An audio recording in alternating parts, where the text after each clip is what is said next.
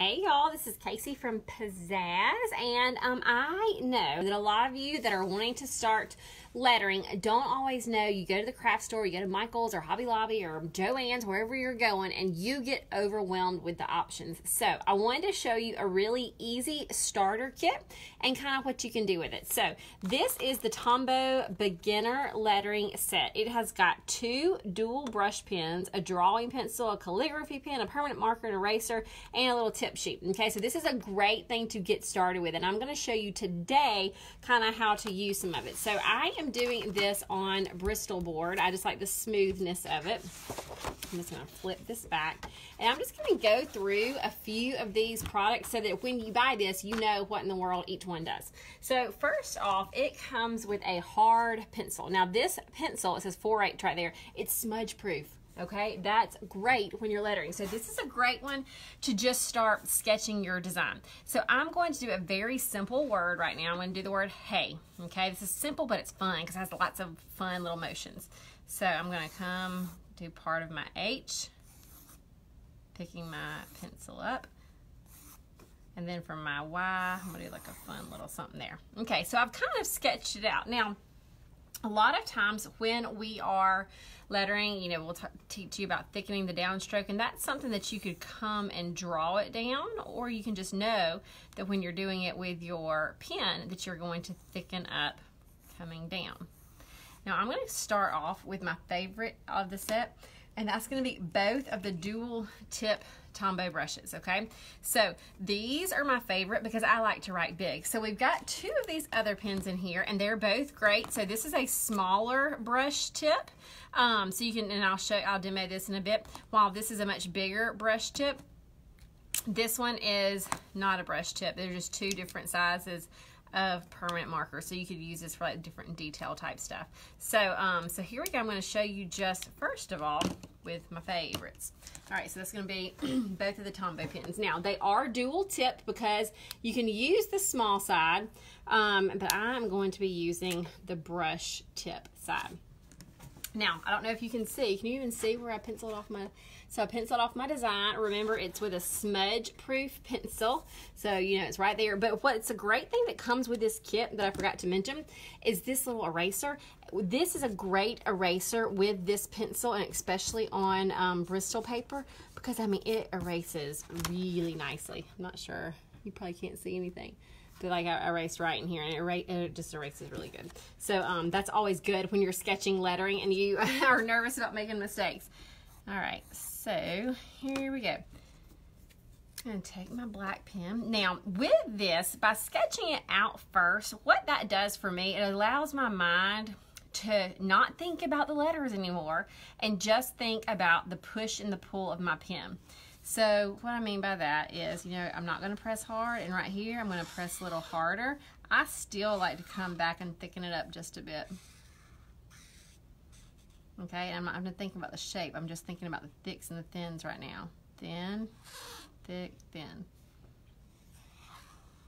I still want to even, I like to, I like to really exaggerate the thicks. So I'll go back in and do that. Thick, thin, gonna thicken them up a little bit more.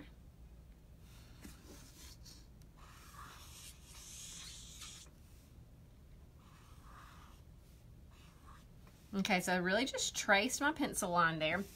Now, there are a few things you can kind of learn from this. One is to have fun with these descenders, the things that go below. Like if you had a line here for your um, like imaginary little handwriting line, the, the letters that descend, uh, they're just, you can have fun with them. So you could have done, I could have done Y's in several different ways. I could have, I'll, I'll tear this off and just show you. So we did the Y like this. We could have done it like that okay? So there's lots of different ways that you could do the Y's just have fun with those.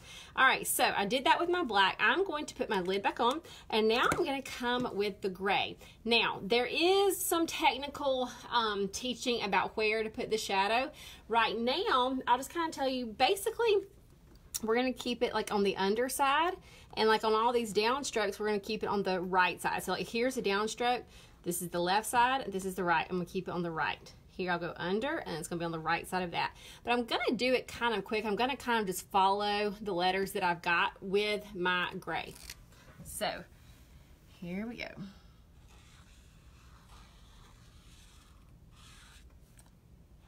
Y'all see how it is creating a shadow? So yes, there is a little bit to think about, but even if you just added a little bit of gray and didn't even know the rules, you'd be all right because gives just that element of shadow with your Tombow pen. So pretty cool, huh? Um, so I love it. Hey Shannon, hey Rebecca. Um, Shannon says she loves the Tombow. So do I. Now I will say I love them on um, on Bristol paper. We have got um, some free lettering, uh, some free lettering downloads for y'all. The traceables. I'm looking around for them right here. They're not at my fingertips. Oh yeah, they are.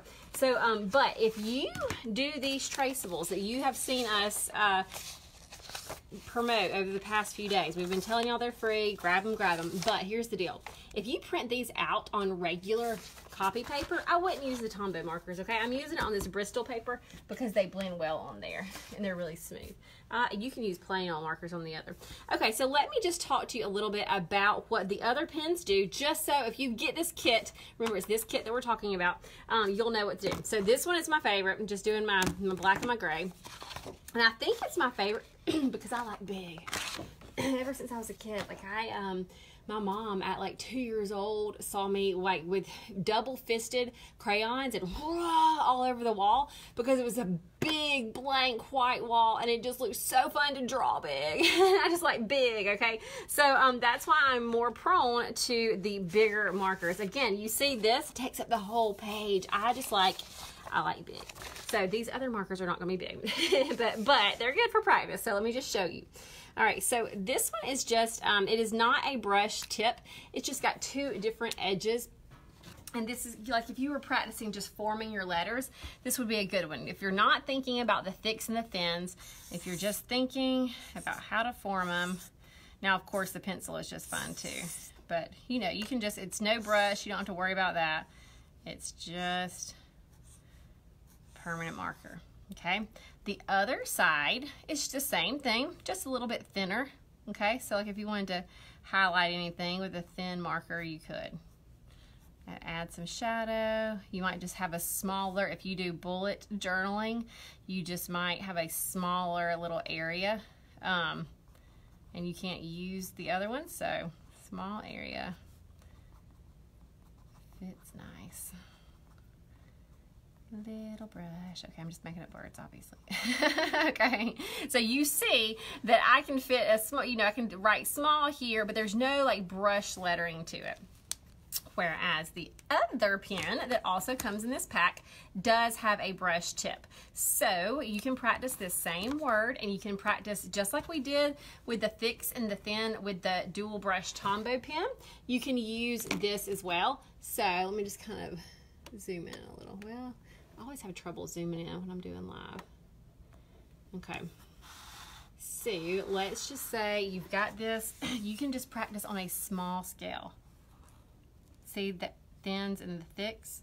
Now you may want to practice just that stroke over and over again because the the um the beauty of the brush tip is that you can get thicks and thins. On this one, on this other pen that we just showed you, I can't get a thick and a thin like that because it doesn't, it doesn't change. It's just one hard tip.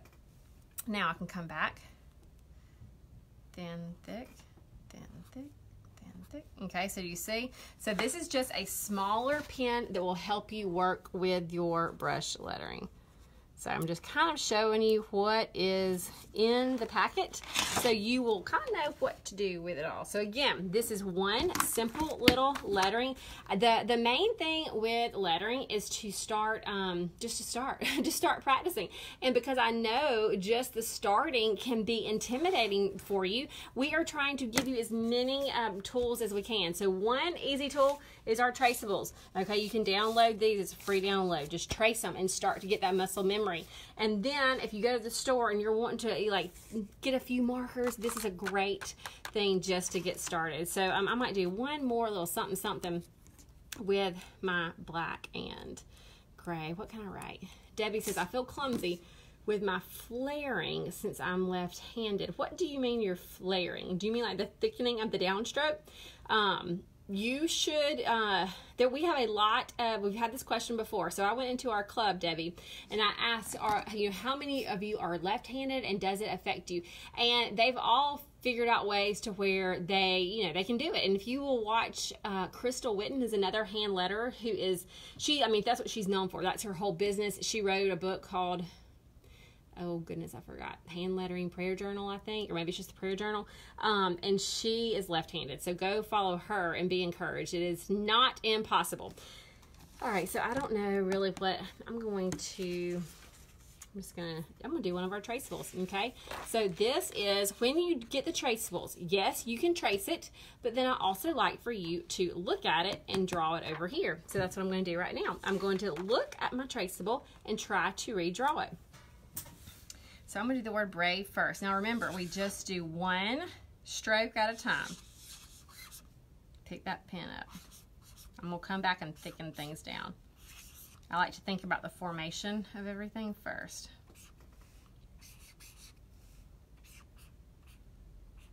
All right, so we have looked at our traceable. That's one of the ways that you can use it. After you trace it, try to do it on your own.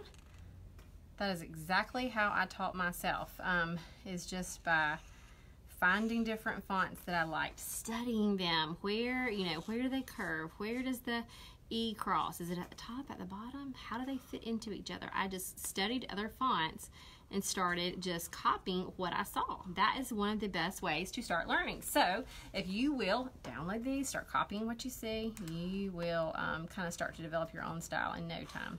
I promise, I promise, I promise. It's, it is not something that people are just born with or they're not. This is a learned skill. Um, that's why we teach it in the lettering club because we know that it's possible for you to learn it because I did my own self. I used to hate my lettering and, uh, and then I taught myself. All right, so here we go. We did the Be Brave. Now we're going to come back with our gray. Remember, now I love color.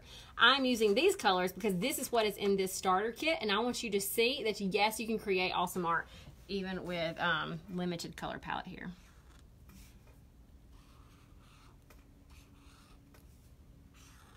And again, if you missed the beginning of our video, I am on Bristol paper.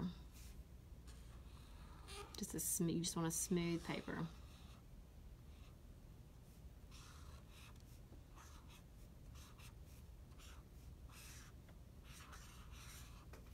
Okay, and there you've got it. So, I hope that helps. I hope that kind of eliminates a little bit of overwhelm if you go to the store and just want some, a few things to, to start sketching. If you want a smudge proof pen, if you want some Tombows but you don't want to buy the whole pack just yet, if you want to give your hand a shot at the smaller brush tip pens, um, you've got it all right here. And this is not a paid advertisement.